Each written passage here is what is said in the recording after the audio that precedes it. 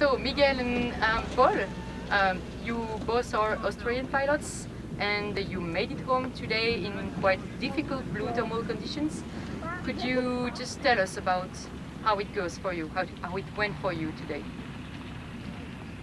Yes, in the first uh, it was a day with uh, normal thermal situation, not uh, like last days.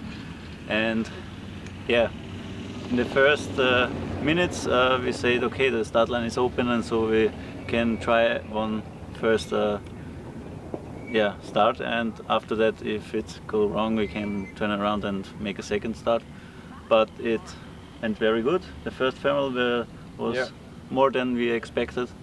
So yeah we said okay let's fly. Yeah. basically on the way to the first turn point we hit a very good thermal and we decided to continue because the chances were really unlikely to find a good one like this again and uh, then we flew some detours around. Actually, we found one cumulus cloud on the Yeah. whole track and we took it.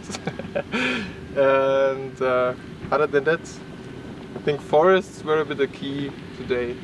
We were looking for forests, yeah all for forest basically. Yeah. Forest, cities, uh, cities okay yes on Yeah. the second turn point over the city we got also a good thermal okay. Also very well done from the task setters because on uh, two out of four waypoints we found the thermal overhead the waypoint. yeah. Whoa. So That good was task well setters. said. Thank you for the feedback. And uh, yeah, regarding um, your strategy in flight, are you flying just the two of us, or do you fly with the Gaggle?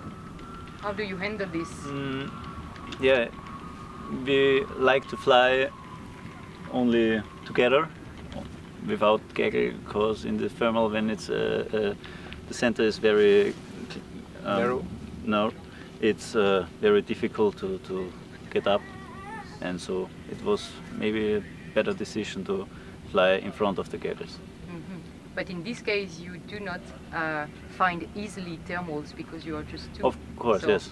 Absolutely. It's Yeah. always a trade-off between the two, but the last two days showed us very weak thermals and gaggles really then also destroy this little weak thermal that is left because they are not circling in the center of the center. So we decided to go for the strategy rather two of us is enough of a team and uh, we saw a couple of other gliders on the way but we were not constant in the gaggle. Okay, so you did a great job together. Congratulations. We think so, yeah.